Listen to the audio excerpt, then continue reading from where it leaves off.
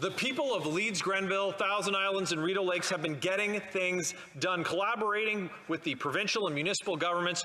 Our community has been working together to bring federal funding for major projects we need in developing them from ideas into realities. Massive infrastructure projects like the County Road 43 expansion that will get us to work in the morning and home at night more safely, recreation projects like the new arena in Prescott that will serve as a community hub, or affordable housing projects like the St. Vincent de Paul project in Brockville with affordable housing for seniors. I'll continue to fight to make sure that our community gets its fair share of, of, dollars for these vital projects. We're going to call on the government for more funds for investments in Gananoque, Westport, Rideau Lakes, North Grenville, across the United Counties, and rec projects in Leeds and the Thousand Islands and Edwardsburgh Cardinal. I want to thank my provincial and municipal counterparts and everyone in our community who has worked so hard on these projects. Together, we're building a better community.